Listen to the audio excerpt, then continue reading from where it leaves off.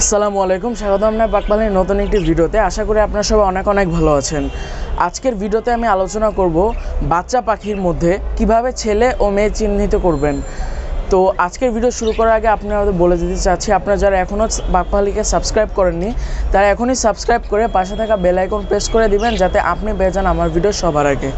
তো আমার সামনে একটি বাচ্চা বাজরিকা পাখি রয়েছে, এটার বয়স হচ্ছে আপনার তিন মাস প্লাস তিন মাসের মতো বয়স হয়ে গেছে এটার।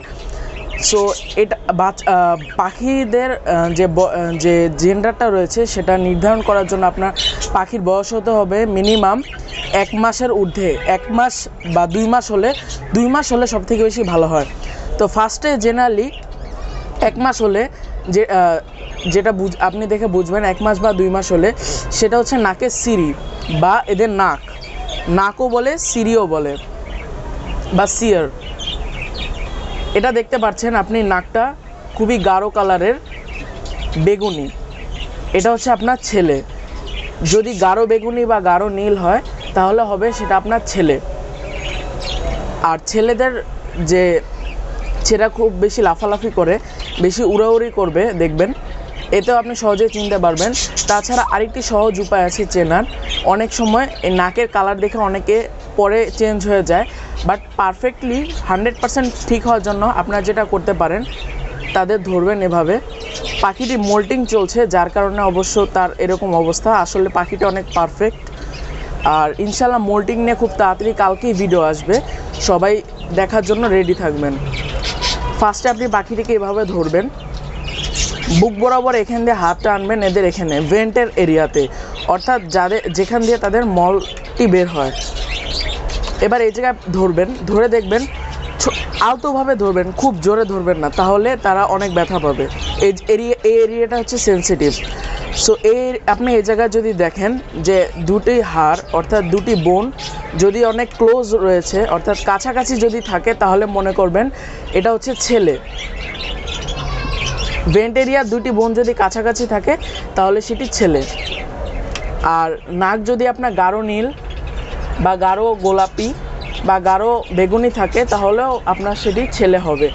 এবার আসেন, একটি মেয়ে বাজরিকা দেখায় আপনাকে। এবার আপনাদের সামনে যে পাখিটি দেখতে পাচ্ছেন, এটা হচ্ছে একটি ফিমেল।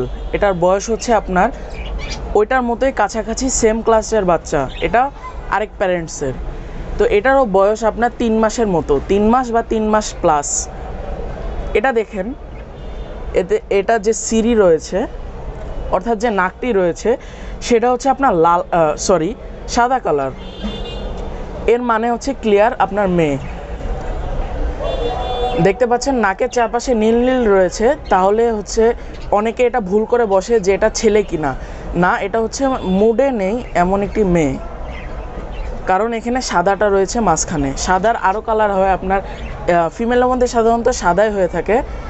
সাদা তারপরে বাদামি, যখন মুডে চলে আসে, সেটা বাদামি কালার হয়। আর সত্যি কথা বলতে ফিমেলরা অনেক বেশি জোরে কামড় মারে। সেটা আপনি এখনই দেখতে পাচ্ছেন। যেভাবে কামড় মারতেছে, আমার নিজেরই অবস্থা খারাপ হয়ে যাচ্ছে। আমি একবার একটা বাজারে একটা ফিমেলে কামড় খাইছিলাম, যখন আমি ফার্স্ট জানতাম না যে ফিমেল এত জোরে কামড় মারে, আমার রক্ত পর্যন্ত বের হয়ে গেছিল। সো ফিমেল পাখি ধরার সময় অবশ্যই একটু সাবধান থাকবেন, বিশেষ করে যা- যেগুলো মুডে আছে এমন ফিমেল এরা খুবই ভয়ানকভাবে কামড় মারে। আর ভেন্ট এরিয়া যেটা আপনি ভেন্ট দেখে বুঝবেন, এদের যে ভেন্ট এরিয়া থাকে ভেন্ট এরিয়া এখানে হাড়ের গ্যাপ থাকে। অর্থাৎ এই রাস্তা দিয়ে তাদের ডিমটি বের হয়। আর এই জায়গাটায় ছেলেদের থেকে ফিমেলদের একটু গ্যাপ থাকে, যাতে তারা ডিমটা পাস করতে পারে। এটাই হচ্ছে খুবই ইজি একটি ব্যাপার। বাজরিগা পাখির মধ্যে ছেলে মেয়ে চেনার বাচ্চা বাজরিগার মধ্যে ছেলে মেয়ে চেনার উপায় খুব সহজে আপনারা বলতে পার বুঝতে পারবেন। খুব শর্টকাটে বোঝানোর চেষ্টা করি। ফিমেলদের আপনার থাকবে সাদা নাক, আর ভেন্ট এরিয়া এটা, এই জায়গাটা একটু গ্যাপ থাকবে। আর মেলদের হচ্ছে নীল নাক থাকতে পারে, পুরা গোলাপি নাক থাকতে পারে, আর বেগুনি, ফুল বেগুনি, এই টাইপের নাকটি থাকতে পারে। আর ফিমেলদের কামড় অনেক বেশি জোর হয় খুবই জোরদায়ক হয়। আর মেল হচ্ছে আপনার মেলগুলার যে ডাকাডাকি বা অ্যাক্টিভিটিস এগুলো অনেক বেশি। আর ফিমেলদের প্রতি প্রচুর অ্যাট্রাক্ট থাকে, যার কারণে আপনি খুব ইজিলি বলতে পারেন।